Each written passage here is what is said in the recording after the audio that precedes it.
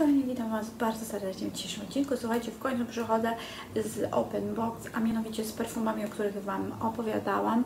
Znaczy ja Wam jeszcze nie opowiadałam, ale wspominałam.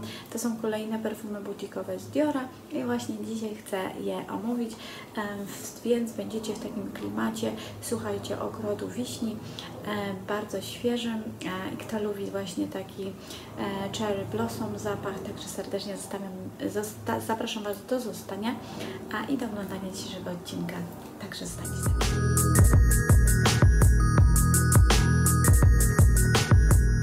Dzisiejszy odcinek, tak jak wprowadziłam Wam w krótkim intro, będzie właśnie o perfumach tu Sakura z, z ogrodu Diora, z Christiana Diora.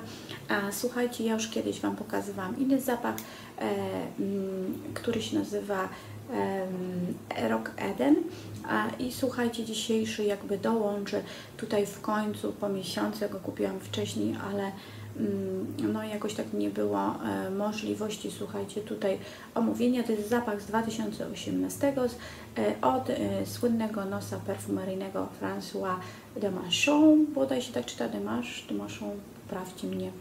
E, I słuchajcie, mm, są to nuty zielone, ale głównie to jest taki zapach oscylujący w kierunku cherry blossom, czyli wiśniowego tutaj ogrodu, e, typowo takiego japońskiego, właśnie z takim mi się kojarzy. Są to też nuty jaśminowe i takie fiołkowe, troszeczkę z mimozą i z białym piżmem, więc ja się na niego połaszczyłam.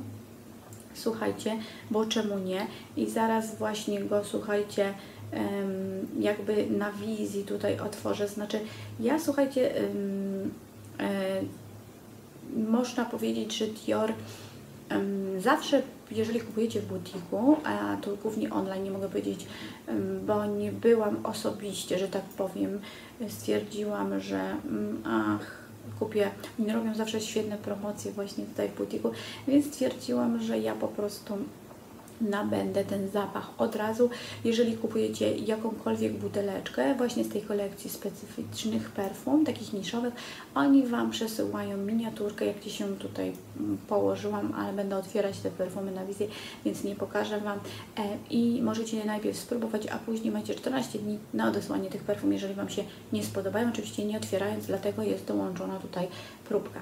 No, bardzo fajny, słuchajcie, sposób. Ja pamiętam, że zanim zamknęli nam, to też coś takiego było, że mogliście po prostu zakupić perfumy nie otwierając, a oni dołączali próbkę i tutaj po tej próbce stwierdzaliście, czy chcecie te perfumy zostawić, czy nie. Więc to jest świetny pomysł, wiadomo, tych perfum jest tyle. Czasem nam się nuta jakaś podoba, ale niekoniecznie na nas. E, no, ale tu nie przedłużając, słuchajcie, ja sobie otworzę na wizji zaraz te perfumy, bo one są jeszcze zafoliowane. Pokażę Wam, jak to wygląda. Jest to 40 ml, także za chwilę je zobaczycie w okazałości. Odfoliowałam. Słuchajcie, nie jest tak łatwo wcale je odfoliować, te, te, tą buteleczkę i w ogóle te perfumy. E, ja pamiętam, że ostatnio robiłam na wizji, ale później stwierdziłam, że mm, po prostu jest masa szeleszczenia, słuchajcie. I mm, e, przy okazji, słuchajcie, no zajmuje to trochę czasu, więc szkoda. E, słuchajcie, mm, ja tu patrzę sobie na deskrypcję, jak opisane są te perfumy. No, one są, o perfumy, one są, słuchajcie, y, w, do nabycia w 40 ml w końcu, bo zawsze były w bardzo dużej e, jakby butelce, tutaj 125 ml, czy chyba była 50 albo 60, nie, przepraszam, 125, później chyba 200 jest i właśnie w końcu na, mm, na prośbę tutaj pewnie zwolenników perfum wypuścili takie travel size, czyli właśnie tą 40 ml danej to jest naprawdę, słuchajcie, wystarczająco. E, I tu jest takie, skąd wzięło się to imię. Ja już Wam mówię, że tu e, chciał jakby nos perfumeryjny diorowski e, jakby złapać ten klimat japońskiego ogrodu, tutaj tych kwitnących właśnie kwiatów wiśni, tego całego mm, jakby przeuroczego krajobrazu. Wiadomo, że jak one kwitną, te drzewa to wyglądają prześlicznie, słuchajcie. Ja zawsze byłam urzeczona. E, są bardzo delikatnie takie e, różowawe. One są takim jakby wejściem właśnie w życie, wejście właśnie e, takiej wiosennej aury i to chciał właśnie klimatycznie tu oddać. E, właśnie nos Diora.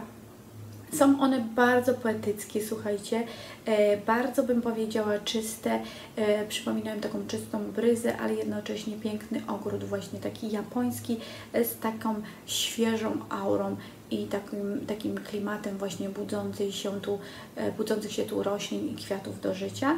One są bardzo dystynktywne, bym powiedziała. Podobnież jest tam, ja nie czuję, nie widziałam tu w nutach e, też migdał, który daje taką pełnię jakby i dodaje takiej quality, czy tej takiej jakości. E, kolor oczywiście, zaraz zobaczycie, jest różowy i należy tu do rodziny takiej świeżo kwiatowej jeśli chodzi o intensywność, e, to tu podkreślę, że jest to dość e, light, e, przepraszam, delikatny zapach, taki właśnie petycki, taki romantyczny, ale już Wam pokazuję jak on wygląda, więc tutaj w tym pięknym opakowaniu białym, słuchajcie, są te perfumiki, tak wygląda 40, słuchajcie, uwierzcie mi, one są różowe, mam nadzieję, że tu Wam się ten kolor przebija, a i słuchajcie, przepiękny taki korety, koreczek magnetyczny. Co ja dzisiaj mam z tym językiem, że mi tak jakoś ucieka. Ja sobie tu psiknę. Ja już się testowałam, słuchajcie, ja uwielbiam w ogóle taki klimatyczny ogród japoński. Ja chętnie do takich miejsc chodzę i słuchajcie, pomyślałam sobie, Boże, jak ja kocham właśnie takie kwitnące kwiaty wiśni, czemu nie poczuć się znowu w takim ogrodzie i mieć go przy sobie. No i mówię tak, a zaryzykuję i wezmę. Oczywiście ja powąchałam tą próbkę, która została mi tu przysłana, ale nie do końca byłam pewna, czy ja jej chcę zostawić. W końcu, słuchajcie, prawda jest taka, że minął czas, mm, te 14 dni, mówię, nie będę ich odsyłać, dlatego że nadchodzi nowa pora i ja wtedy szukam właśnie takich bardziej wybujałych perfum, takich świeżych, ale jednocześnie dających taką nutę trochę ostrości i one do takich należą, bo tam jest też ten jaśmin, słuchajcie, nie zapominajcie i rzeczywiście być może jest ukryty gdzieś tam ten almond, czyli migdał, który dodaje właśnie takiej, e, jak on to określił, okrągłości, jakby e, takiej kwintesencji właśnie tu jakości. Słuchajcie, na mnie on jest bardzo kwiatowy. Ja się cieszę, że ja nie do końca czuję ten jaśmin, bo ten, ja mm, powiem Wam, że ja wiem, że wiele Was lubi jaśmin. Ja niekoniecznie, bo to zależy jak on na mnie rozbrzmiewa i nie zawsze on jest na mnie czasem duszący, nie zawsze taki, który sprawia, że ja się czuję dobrze, ale to też zależy od pory dnia i pory roku. Moje włosy znowu stoją. I słuchajcie, przechodząc, naprawdę to jest taki, macie wrażenie, jak psikacie ten zapach, że wchodzicie właśnie w taki typowy, klimatyczny ogród japoński z tymi pięknymi biało-różowymi kwiatami, które rozkwitają, sprawiają, że macie się na życie, można tak powiedzieć, macie taką sobie dynamizm, chęć przebywania w tym środowisku, a to jest bardzo ważne, bo to są, będą jakby ewokować, że każdy będzie chciał być w Waszym tutaj otoczeniu, czyli takie łapacze komplementów.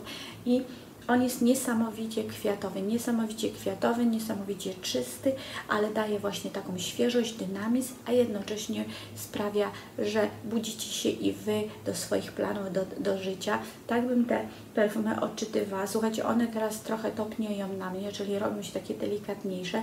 Tak jak tu Dior podsumował, e, jest to zapach, słuchajcie, świeży, należy do takich delikatniejszych, kwiatowych zapachów, więc on na pewno, jeśli chodzi o takie projekcje mm, na niektórych osobach, które używają bardzo mocne perfumy, bardzo takie stężone jakby mm, perfumy, być może będą rozgoryczone. Ja nie należę do takich osób, ale powiem, powiem Wam, że rzeczywiście są przeurocze, romantyczne, takie świeżaki, takie to, kojarzą mi się też świeżo wypranym mm, prankiem, które wisi gdzieś w ogrodzie właśnie, kiedy to wszystko kwitnie. No, przepiękne. Być może one nie wytrzymają mm, na taką jesienną porę całego dnia. Będziecie musiały się tu jakby dopsikiwać. Chociaż powiem Wam, na mnie całkiem, całkiem ładne to stężenie. Później znika ten ogród kwiatowy i rzeczywiście wychodzi migdał. Przyznaję mm, tutaj rację, że jednak nie do końca wierzyłam w ten migdał, ale ten migdał jest. Słuchajcie, i dodaje właśnie takiej takiej kwintesencji, ale jest tam właśnie ten przeuroczy japoński ogród wiśni i o to mi właśnie chodziło. Cieszę się, że nie wybrzmiewa na mnie ten jaśmin, być może na innych osobach ten jaśmin będzie wybrzmiewał, na mnie nie, także na pewno zostaną w mojej kolekcji tak czy siak.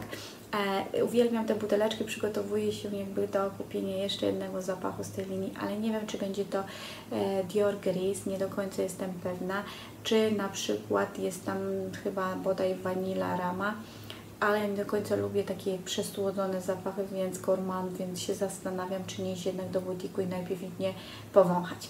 Słuchajcie, powiedzcie mi, czy lubicie właśnie takie butikowe odkrycia. Ja wiem, że na pewno w Polsce mm, są w tych butikach Diora na pewno te perfumy. Może któraś z Was ma. Powiedzcie mi, które najbardziej perfumy Diora Wam się podobają. A oczywiście ja uwielbiam Blooming Bouquet. Słuchajcie, to są perfumy obok Yves Saint Laurent Baby Doll i Yves y, In Love Again, które ja podkreślam, to są perfumy, które ja uwielbiam ponad życie, niezależnie od pory roku, mimo że one są kwintesencją świeżości. A więc być może Wy macie właśnie też swoje ulubione diorowskie perfumy. Serdecznie, słuchajcie, Was zapraszam do zostawienia właśnie komentarza, które diorowskie właśnie perfumy tu uwielbiacie. Słuchajcie, świetnie się dogaduje właśnie z takimi świeżakami, no a mniej może właśnie z takimi bardziej wybujałymi perfumami, ale te są jakby takie gdzieś po środku. Dlatego gorąco Wam polecam, jeżeli tylko macie okazję, to przetestujcie te specjalne butikowe zapachy.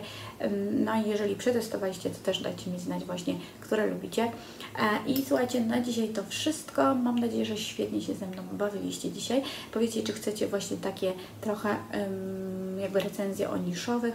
Oczywiście tych, którzy jeszcze nie zasubskrybowali mojego kanału, a chcą ze mną zostać, podglądają mnie, a YouTube ostatnio no, nie za bardzo poleca te filmy, koniecznie zostawcie subskrypcję, koniecznie polubcie, dajcie komentarz i do zobaczenia do następnego odcinka. Pa, pa.